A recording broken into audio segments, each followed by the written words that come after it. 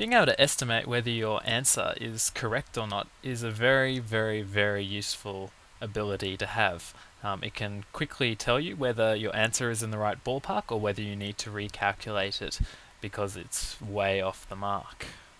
So here I'm going to show you a couple of simple examples of guesstimating. So say we need to work out 1234 times 1234.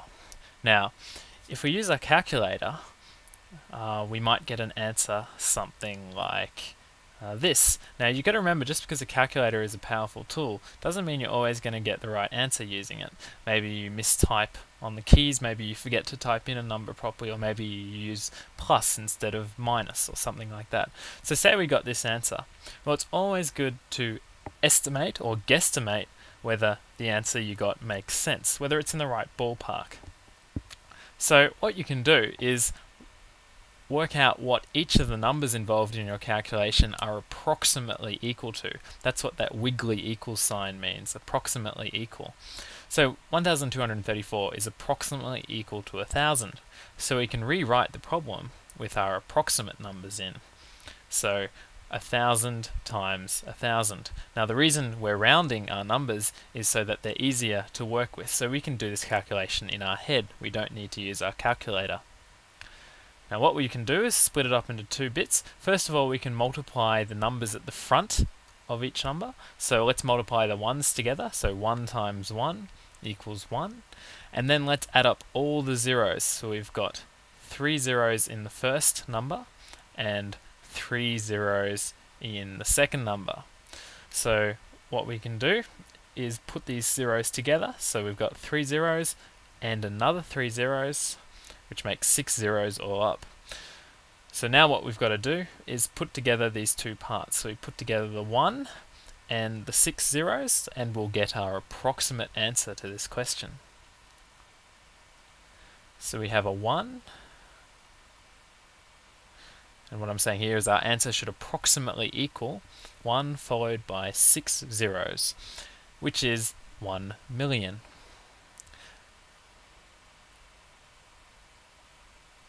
Now, the answer we got was, uh, we didn't get a million. What we got was 151,782.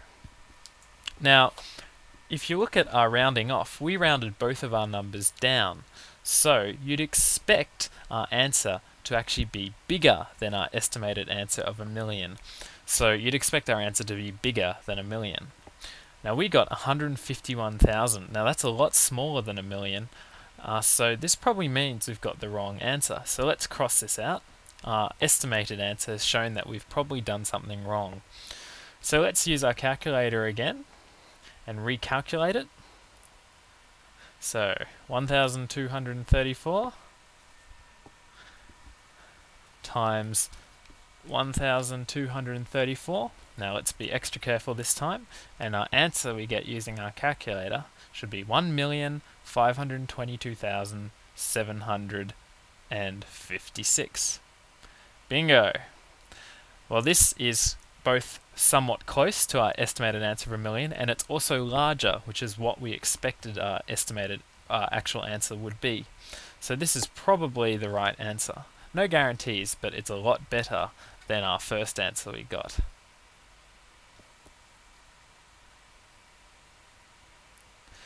Now, often when a teacher's marking an exam like this and you make a mistake like this, they'll try and work out where you went wrong so they don't deduct all your marks because of a stupid mistake. So in this case, what is very, very common is that you can sometimes forget to enter digits in your calculator. So in this case, if you multiply 1234 by 123, you get the first answer we got, which was wrong, because we'd forgotten to put the 4 in at the very in the at the very end of the second number. So this sort of shows you how easy it is to make these sort of mistakes and why it's very important to estimate your answers.